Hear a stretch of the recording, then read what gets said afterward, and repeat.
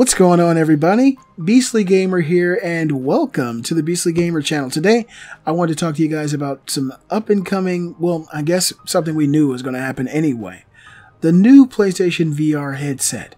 Yes, I said new. We kind of figured, uh, and it happens usually that way, that early adopters buy the, the base model, and there's soon a newer model released, and this goes for everything, with improvements and streamlined and PlayStation VR really could have used it. I knew it was going to happen, you knew it was going to happen, and now Sony has officially announced a new PSVR model. I'll drop a link in the description. New PlayStation VR headset model announced. Here's what's changed for PlayStation 4 owners. Sony has announced a new model of its PSVR virtual reality headset. It doesn't have any new headline features, but it does contain a number of small enhancements to help improve the overall experience of playing in VR. Firstly, Sony says the new model features, quote, an updated design that enables the stereo headphone cables to be integrated with the VR headset and a slimmer, streamlined connection cable, end quote. In addition, the headset's processor unit now supports HDR pass-through, meaning you don't need to disconnect the unit, which lies between the PSVR and your TV, to enjoy HDR-enabled content on your TV. Sony notes that this feature can only be used when the VR headset is switched off. Sony has not yet shared the release date of the new CUH ZVR2 model, but it has confirmed pricing will remain the same.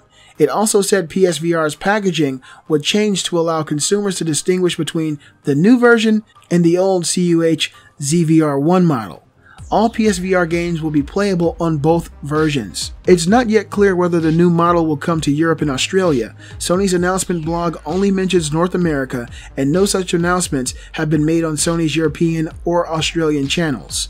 Alright, so this is actually pretty good news. Uh, I actually didn't know about the HDR effect of PSVR. I've been thinking that I'm getting the full effect of my HDR enabled uh, 4K TV. So now I know I need to turn that off and disconnect the pass through.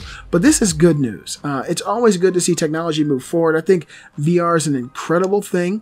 Uh, for those who haven't used it, you definitely got to experience it. No one can really explain to you what it's like to put on a headset and be inside of a game. With that being said, a $400 PSVR bundle sounds really awesome. It comes with Move controllers, comes with a camera now, and it's really everything you need. A more streamlined product. And who knows how long it'll be until they can up resolution and things like that.